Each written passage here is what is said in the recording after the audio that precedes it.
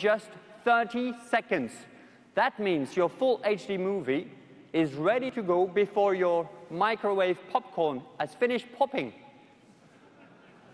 Now, that's speed.